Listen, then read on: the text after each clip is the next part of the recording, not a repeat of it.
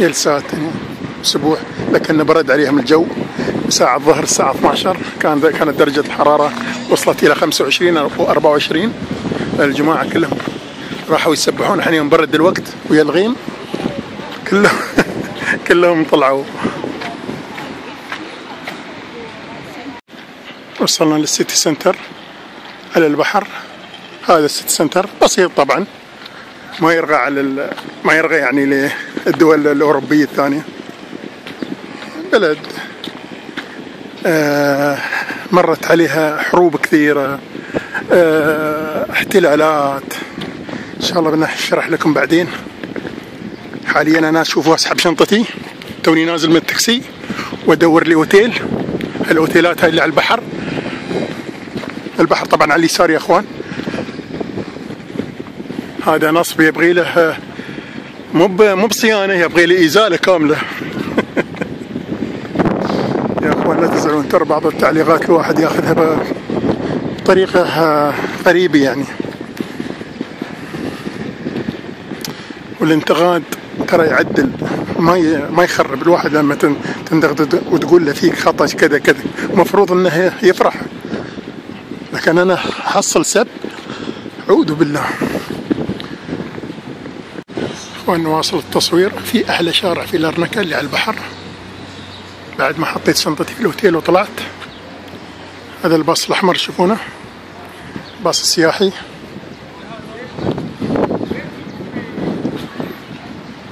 اللقطة من بلكونة الأوتيل.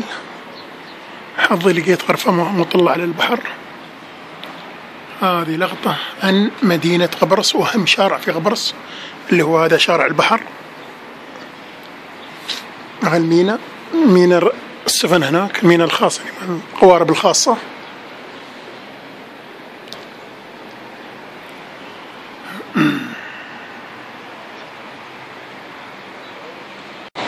نواصل جولتنا.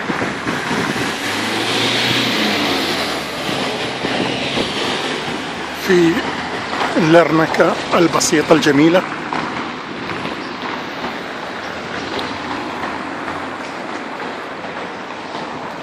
هم بارعين في المشغولات اليدوية الغبارصة.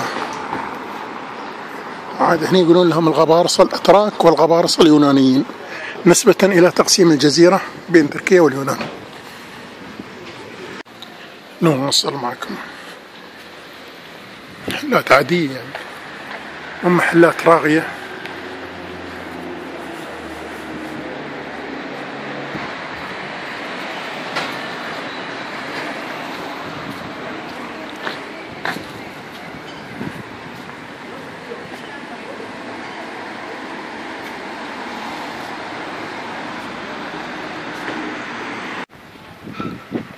بعض المحلات الصغيرة طبعا.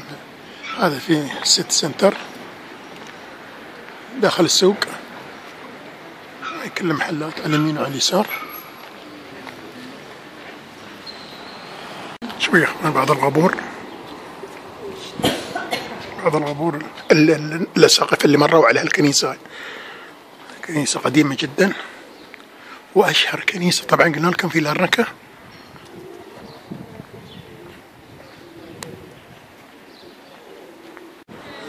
كنيسة القديس اليعازر أهم معلم أثري في لارنكا.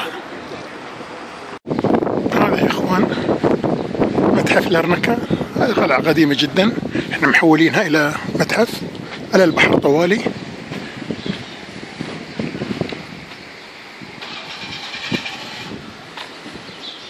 من المباني القديمة جدا والأثرية. وجنب المتحف. شوفوا يا إخوان هاي منارة المسجد. المسجد من آثار الأتراك.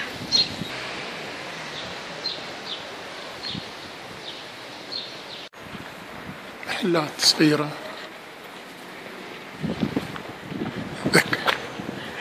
مشيت فيها السكيك. سكيك تذكرت لبنان. نفس شوارع لبنان. بس بعد لا بس هي شوي أرغبت. واحد من هذا نصب. في المينا يا إخوان. هني وين الغوارب مين مين مين السفن هناك. شوف من القوارب الخاصة.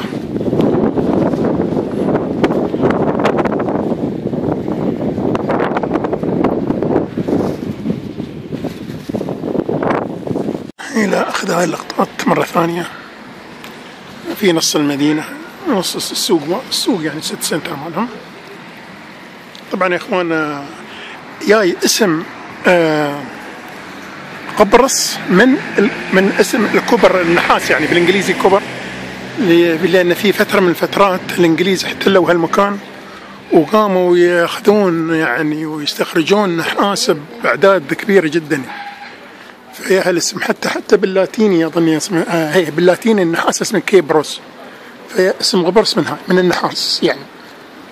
مثل ما قلنا لكم قبرص عبارة عن آه دولتين أو قسمين قسم يوناني وقسم تركي.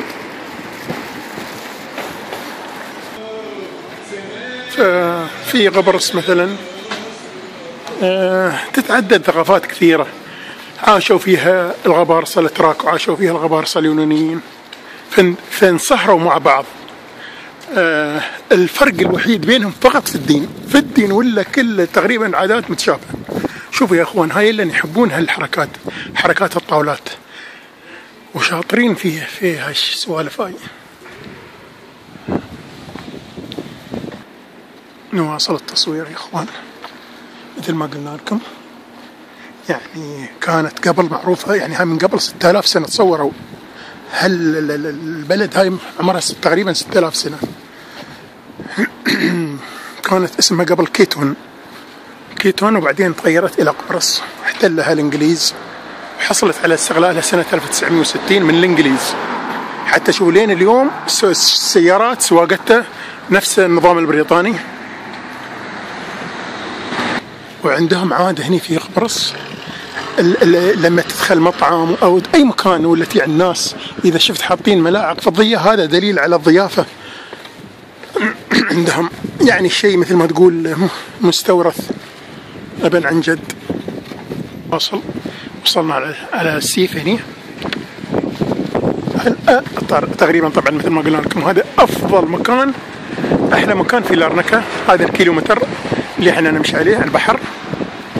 طبعا قلنا لكم يا إخوان هاي هاي هذه هاي غبرص تعرضت للكثير من الاحتلال والاعتداءات. مثل حتى صور حتى المصريين حتى المصريين وصلوها. الفرس الرومان اليونانيين الأتراك الإنجليز تصوروا كلهم مروا على هالبلد هاي. ومثل ما خبرناكم قبل يا إخوان هذه قبرص فيها خمس مدن رئيسية. بس افضلها أفضلها طبعا نيغوسيا العاصمة وحين لارنكا هذه وليماسول وبعدين هناك في مدينة في مدينتين ثانيات آه اللي هي آه، بافوس آه، نعم بافوس في في الغرب الشمالي من قبرص غرب شمال. وفي مدينة في مدينة ثانية اسمها فاموغيستا. بس أهم شيء ثلاث يعني الواحد من قبرص يحرص على أو زيارة العاصمة نيغوسيا ولرنكا وليماسول هذا هو. أحلى ما فيها. إن شاء الله باكر نشوفكم في العاصمة نيغوسيا والسموحة على التقصير. إذا في تقصير هذا تقريرنا عن مدينة لارنكا وأي حاجة إحنا حاضرين لأي سؤال يخطر في بالكم. والسموحة منكم.